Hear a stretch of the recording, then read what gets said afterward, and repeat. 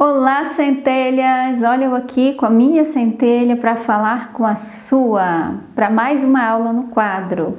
Bom, hoje a gente vai falar sobre as três partes da alma. O que, que é a alma? Enfim, vamos entender isso e para isso eu precisei fazer alguns desenhos no quadro. Então se prepara com papel, caneta, pega o seu caderno de estudos de expansão de consciência que a aula vai trazer muito conteúdo e vai cair com certeza muitas fichas aí para você. Então vamos lá, preparado para aprender as três partes da alma? Então vamos lá. Primeiramente, quem é Deus? Deus é a alma, a alma do homem. Mas a alma, ela é dividida em pelo menos três partes.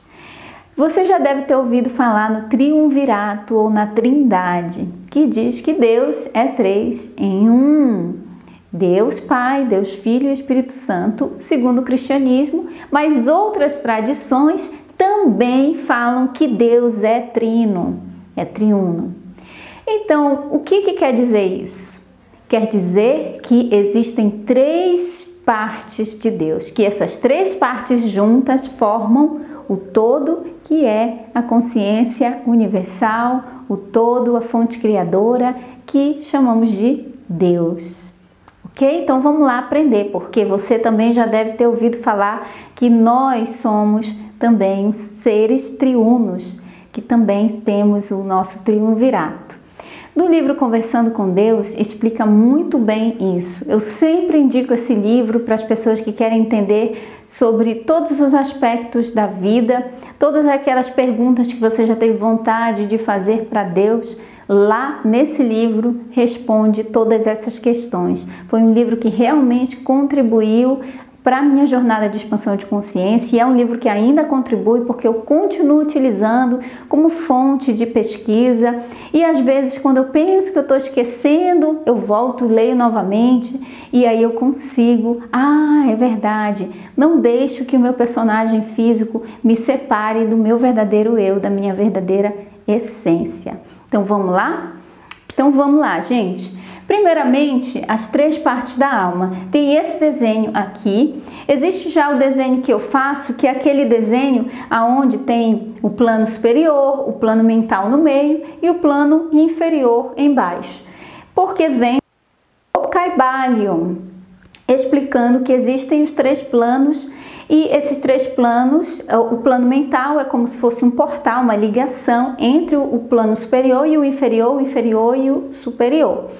E no plano superior está o teu eu superior, no plano inferior está o eu inferior, que é uma projeção de cerca de 1%, apenas falando didaticamente, uma pequena porção da consciência de quem você verdadeiramente é se projeta para vir aqui viver essa experiência temporariamente humana através do veículo do corpo físico.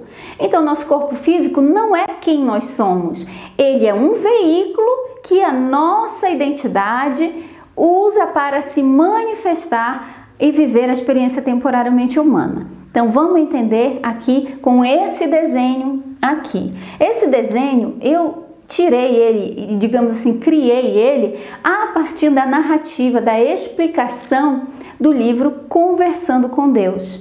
Então, nesse livro explica sobre a alma ser Deus. Deus ser todas as coisas e explica sobre o que, que é a alma. Então ele dá o exemplo do ar condicionado. Imagina que você está numa sala, uma sala bem grande. Sabe aquelas salas? Vamos, vamos trazer para uma ilustração ainda mais fácil de compreender. A sala de faculdade. Sala de faculdade tem aquele ar-condicionado bem grande lá na frente, em cima do quadro do professor, e aí o pessoal quer sentar lá atrás porque o ar é, lá é menos frio. Então a gente, eu sempre quando ia para a faculdade levava um casaquinho porque geralmente na sala ficava aquele frio. E aí, quem sentava mais na frente, mais perto do ar-condicionado, sentia mais frio, o ar era mais denso, mais gelado. Quem ia se afastando mais distante nas últimas cadeiras já não sentia o ar tão denso, já não sentia tanto frio, porque lá a temperatura estava um pouco mais amena, porque a fonte era daquele frio, daquele ar gelado, era o ar condicionado.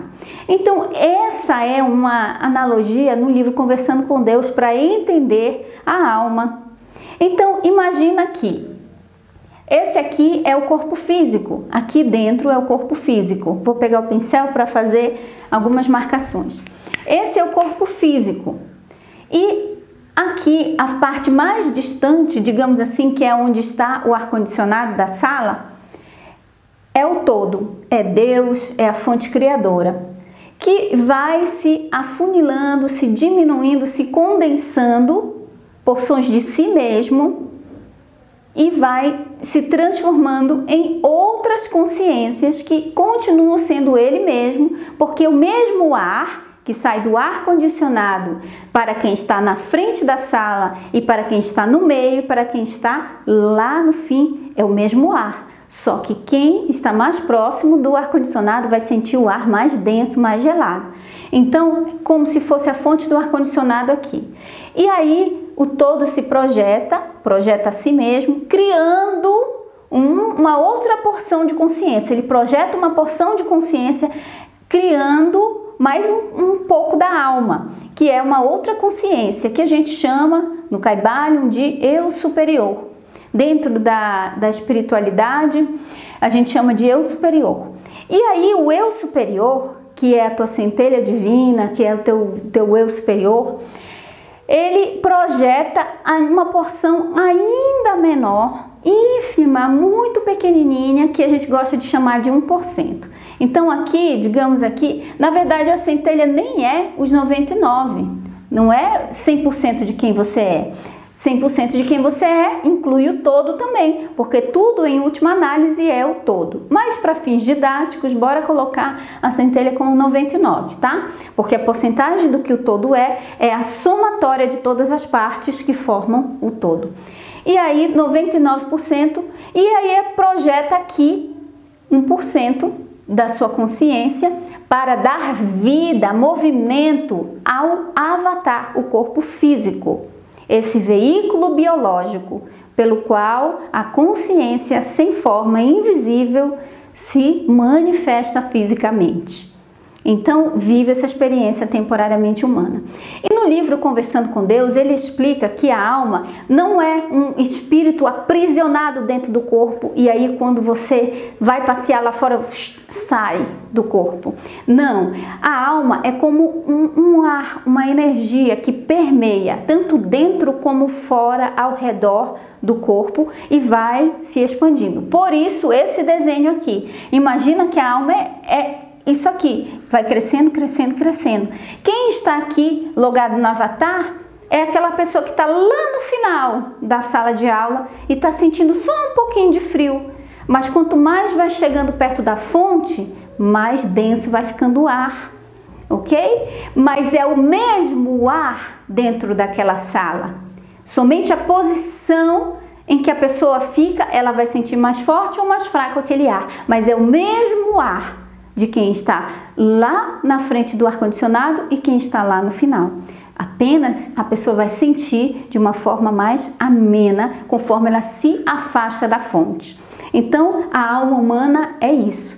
É o próprio todo que foi se projetando cada vez mais, digamos assim, distante, se afunilando, condensando-se até, ó, até virar esse 1%zinho aqui que nem se lembra que é o todo, que quando fala eu sou Deus, está blasfemando. Isso não está certo, isso está errado.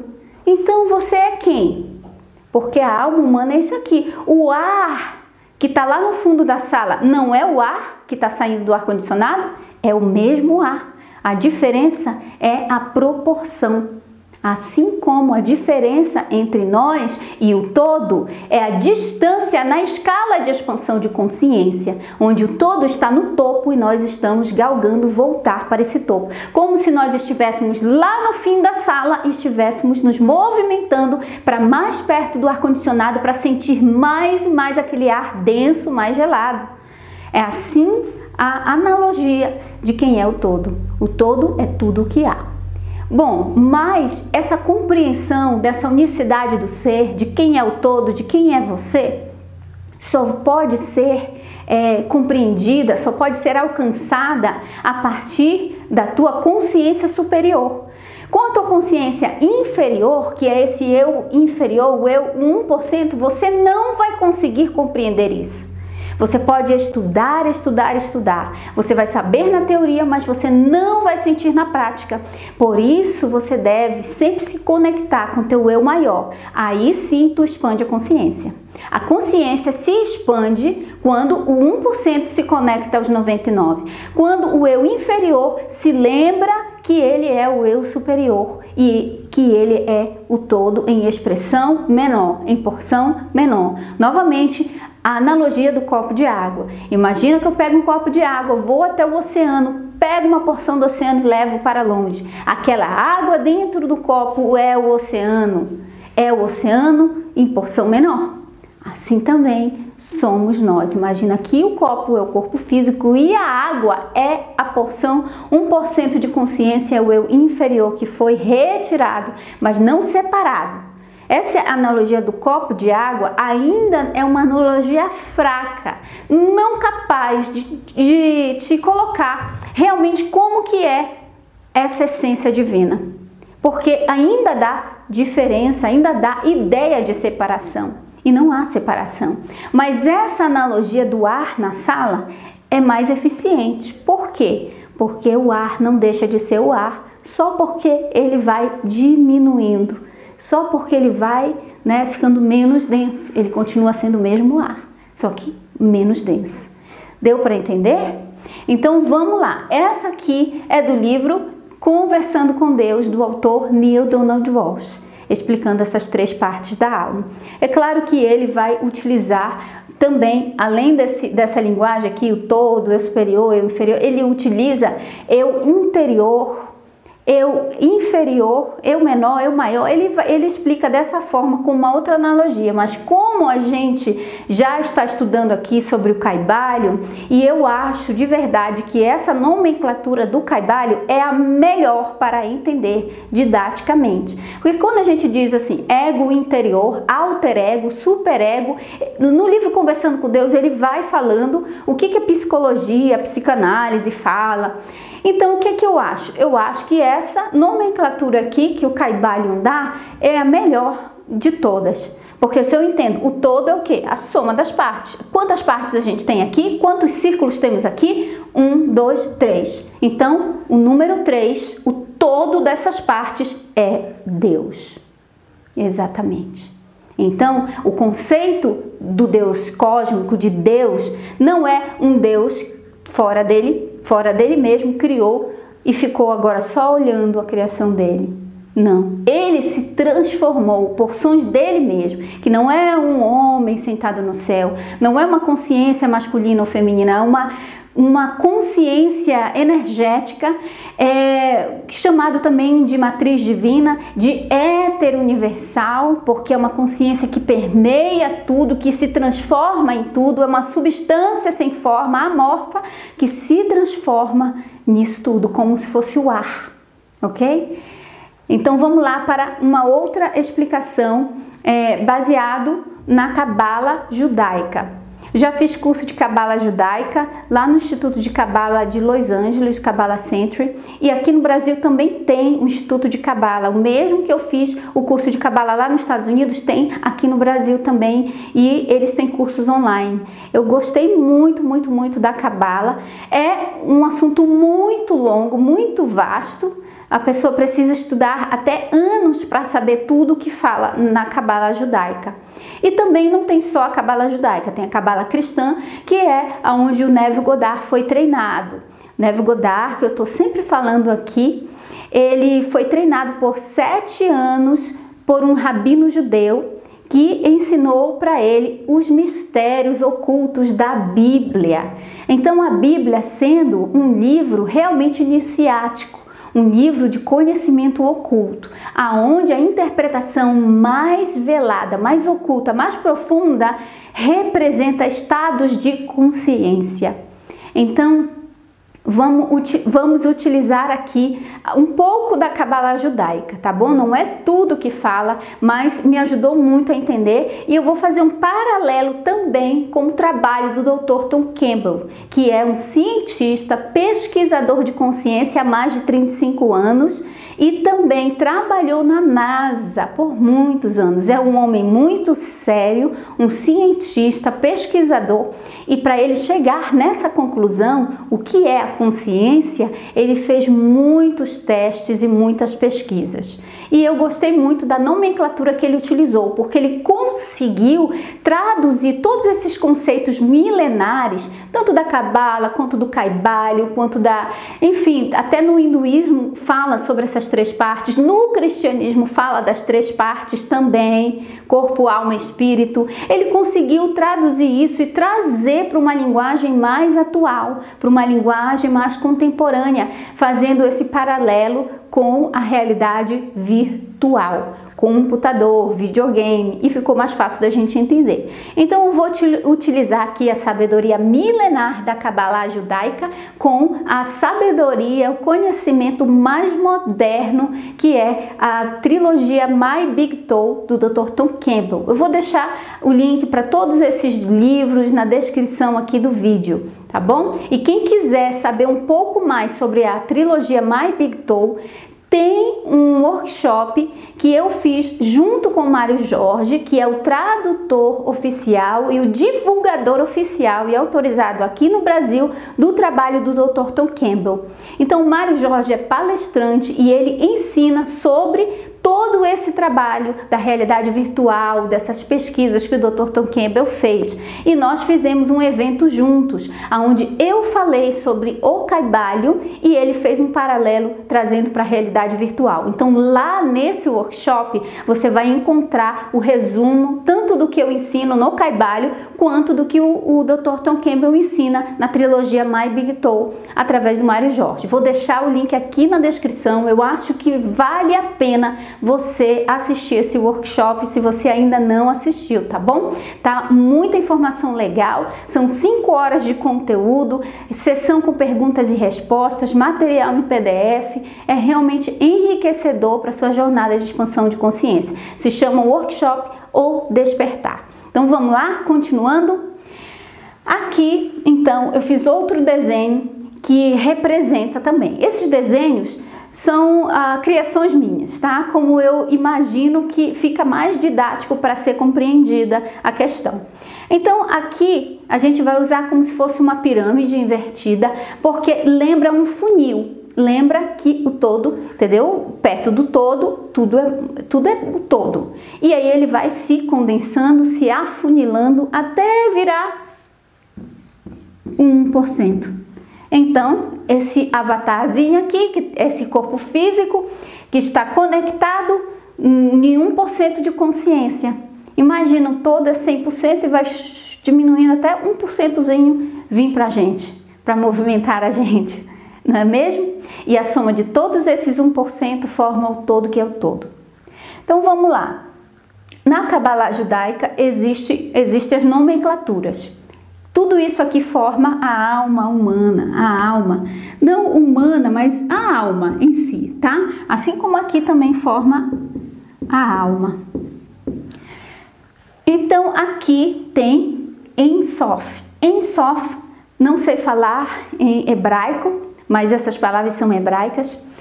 Ensof significando aquele que é eterno, significando o Deus infinito, o todo que dentro da, é, do taoísmo eles chamam de Tao.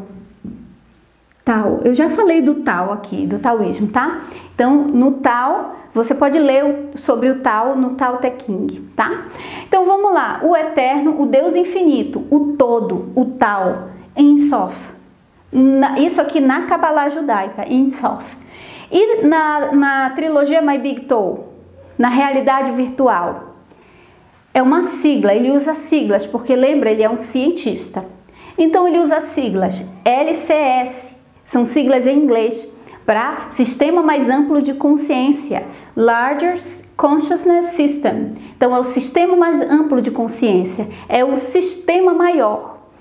E aqui uma parte ainda menor, digamos assim, que vai descendo o funil, na Kabbalah é Ruach, Ruach ou Ruach, não sei como fala, mas a pronúncia, né? Mas é Ruach, que significa a alma divina, o sopro, o Espírito, o Espírito de Deus, o sopro, o Espírito Santo, a centelha divina, o eu superior, ou ainda eu maior. Nem coloquei aqui eu maior. Tá bom? São vários nomes. Está vendo como durante ao longo desses séculos várias tradições identificaram essas três partes da alma e cada uma deu uma nomenclatura. Só que esse monte de nomenclaturas pode atrapalhar o entendimento. É por isso que eu gosto muito dessa nomenclatura aqui que eu acho muito mais fácil de compreender. O todo, eu superior, eu inferior. Aí eu gosto do termo centelha divina porque é um termo que eu aprendi dentro das tradições ocultas, dentro das tradições milenares, que é um termo que eu acho assim tão bonito, que representa verdadeira identidade. Centelha porque é uma fagulha de uma fonte maior. Olha, a fonte maior é o todo, a centelha é o eu superior. Então vamos lá. Ruach é a alma divina, também chamada alma divina. Enquanto que Nefesh, Nefesh é a alma humana. Aqui é o eu inferior. Então aqui, alma humana, eu interior, eu menor Lembra que tem o eu maior, eu menor, eu inferior, porque tem o eu superior, ego, vontade, desejo, instintos, mente, intelecto, emoções, livre-arbítrio. Essa parte aqui, que é o 1%, aqui ó, 1%, essa parte, essa porçãozinha de consciência que é projetada de Ruach, transformando-se em Nefesh, é essa partezinha menor é que forma o ego, o personagem responsável pelas, pelas vontades, pelos desejos, pelas emoções e é uma parte composta de livre arbítrio, porque tem vontade própria. Então, aqui é o eu inferior, que é o que está logado neste corpo físico, que é o personagem que acredita que é esse corpo físico, que esqueceu a sua verdadeira identidade, a sua origem, que esqueceu que Nefesh é na verdade Ruach, e Ruach, em última análise, é Ensof. Entendeu? Que é a soma de todas as partes. Então, o Deus eterno, o todo, o Deus infinito, vai se afunilando para transformar-se na sua própria criação. Então, na teoria My Big Toe, nós temos aqui outra sigla. Aqui, para em Sof, que é o todo, é, na trilogia é o sistema mais amplo de consciência. E aqui, Ruach, na trilogia My Big Toe, é IU ou Si, que é a unidade individuada de consciência. É uma unidade individuada de consciência, que é uma porção do sistema mais amplo de consciência que de consciência que se projetou, transformando numa consciência menor, mas ainda muito, muito, muito, muito. Deixa eu parar de falar muito, muito, muito mais poderosa do que o do eu inferior. Ruach muito, muito, muito, muito, muito, muito, muito, muito, muito, muito, muito, muito superior a Nefesh. Muito, muito, muito, muito, muito. Então, imagina, 1% é até menos de 1%. Estava falando com meu amigo Mário, ele disse, e é muito menos de 1%. Que a consciência, a unidade individuada de consciência, projeta para viver aqui esse, essa experiência temporariamente humana é muito menos de 1%. Você não sabe o poder que a tua verdadeira identidade tem. Você nem, nem, nem sonha, nem consegue conceber, porque a tua mente, nesse, a mente de Nefesh, a mente aqui da, dessa unidade de 1% de consciência é totalmente finita. É 1% só. Como é que 1% vai saber? Imagina eu, eu pegar o oceano inteiro e tentar colocar dentro de um copinho. Não dá. Não dá. Ainda que eu pegasse somente a parte da alma, que é Ruach, que é o eu superior, e tentasse colocar ela inteira no personagem físico, não daria, porque é muito superior, muito mais sábia, muito mais poderosa do que o 1% que está vivendo esse personagem físico. Então, aqui é a unidade individuada de consciência. E essa unidade individuada de consciência, para viver a experiência humana, lembra, essa unidade daqui, de Ruach para cima, da unidade individuada de consciência para cima, não é físico, é não físico, tá bom?